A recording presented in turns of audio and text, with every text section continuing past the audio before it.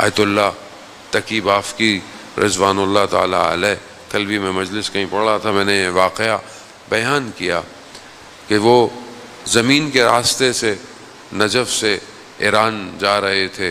सर्दियों के अयाम थे इलाम की पहाड़ों पे बर्फ़ थी, रात हो गई। कहीं ना कहीं रात गुजारनी थी।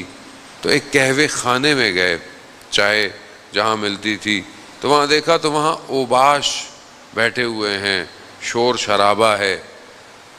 वो जगह उनको मुनासिब नहीं लगी, लेकिन कोई जगह थी नहीं।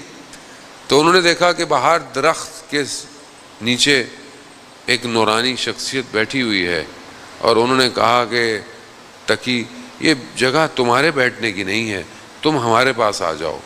कहा, मैं उनके पास चला गया। बाहर बर्फ़ गिरती रही, मगर उस दरख्त के नीचे मुझे सारी रात कोई सर्दी नहीं लगी। रात गुजारी, सुबह फजर का वक्त आया, उनके पीछे मैंने नमाज़ पढ़ी। जब रोशनी फूटी तो फिर उन्होंने कहा कि सफ़र शुरू करते हैं। चलने लगे तो मुझे एहसास हुआ, और ये एहसास खुद नहीं होता, जब तक इमाम खुद ना चाहे। मुझे ये एहसास हुआ कि ये कोई और नहीं, ये वक्त के इमाम हैं। जैसे मुझे एहसास हुआ, मुझे इमाम ने कहा कि अब आपको पता चल गया है तो हम आपसे रुखसत लेते हैं, अब हम जाते हैं। तो शिद्दत इश्क शिद्दत मुलाकात, मोहब्बत, ये हमारे अंदर होनी चाहिए, जान मोहतरम। हमारा 24 घंटे गुजर जाते हैं, हमारे वजूद से एक दफ़ा भी नहीं निकलता, या साहिब ज़मान नहीं निकलता। ज़ाहिर है, जिसको इंसान याद करे, उसी से निकलता है। कहीं दर्द हो तो उसी का नाम निकलता है जो तबीब होता है। लेकिन मेरा तबीब नहीं बन पाया। ऐसा नहीं कि वो मैं खुद कमज़ोर हूँ। या साहिब ज़मान, या महदी दरकनी मेरे वजूद से नहीं निकल रहा, खूब नहीं निकल रहा, इसको आप एक्सेप्ट करें, क्यों नहीं निकलता? तो कहा, जैसे ही उनको एहसास हुआ, बहरहाल उन्होंने कहा कि मैं आपसे फिर कब मिलूँगा? तो कहा अभी आप कुम जा रहे हैं तो कुम में मुलाकात होगी और सब्जाजार में हमारी मुलाकात होगी। ये कहे बड़े शौक से, बड़ी मोहब्बत और बड़ी तड़प के साथ कुम पहुँचे। तीन दिन कुम में रहे। देखा, इमाम से मुलाकात नहीं हुई।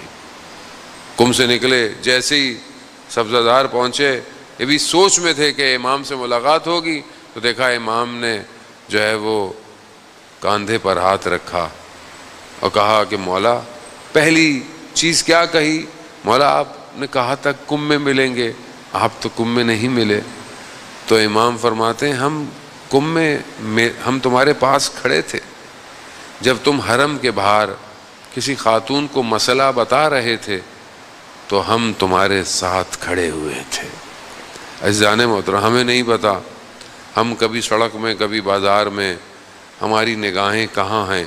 हमें क्या पता उस वक्त हमारे बराबर में हमारा इमाम खड़ा हुआ हो। खूब ये बहुत ज़रूरी है, ये आपको महसूस करना है।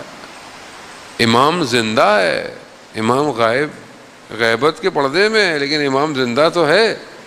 अब क्या मैं अपने इमाम के करीब जा रहा हूँ कि नहीं जा रहा? करबला यही है।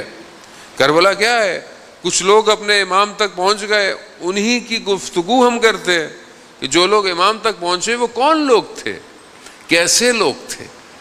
उनके अंदर ऐसा क्या था कि जो अपने इमाम को पहुँच गए?